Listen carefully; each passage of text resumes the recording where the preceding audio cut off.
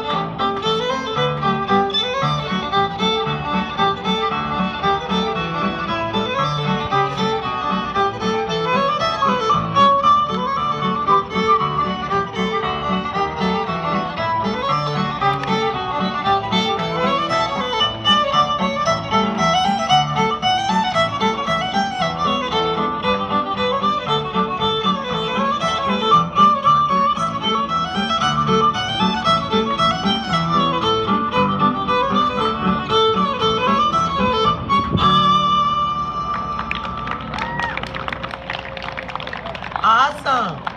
Now give them a big round of applause.